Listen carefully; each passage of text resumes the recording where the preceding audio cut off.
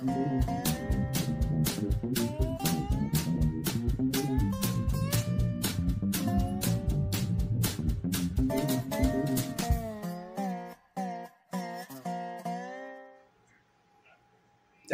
folks.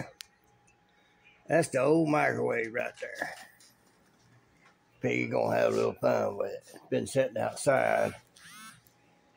I'm gonna take take this thing apart, break it down, so I can take my cutting wheel on my grinder, cut all this up into manageable pieces, separate out the copper, and, and uh,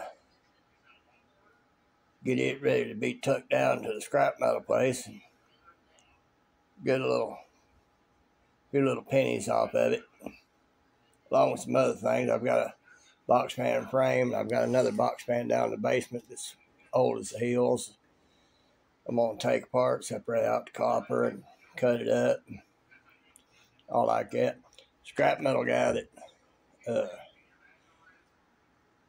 I've been going with I messaged him and told him I, if he's still into scrapping metal, I've got a few little odds and ends. And on response, I got, you know, if he had to find himself this way, and uh, all I got from him was a thumbs up. So I don't know if he's still into it, not into it, saying he going knows about it now. He'll swing by here when he finds his way over here or what. Well, folks, you know what? I want it. I want it gone. Figure somebody wants to scrap metal to make a little money out of it, they'll come get it. So that's what this is going to be. So I'm going to try to set up and see y'all can see me taking some of it apart. Be back. All right, folks. Got this set up a little bit. I think I'm going to do is put this on time lapse so I can listen to some music and get down with it.